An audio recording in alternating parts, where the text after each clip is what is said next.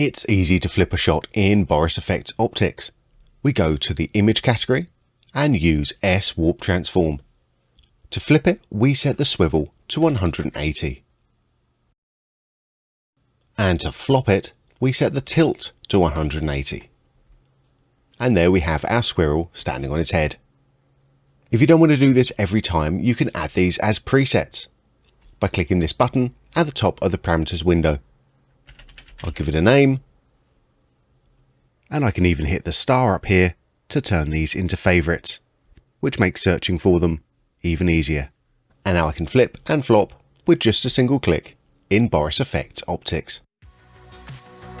To learn more about optics, subscribe to the Boris FX YouTube channel or head over to the Boris FX training pages at borisfx.com where you'll also be able to download a free trial version of Optics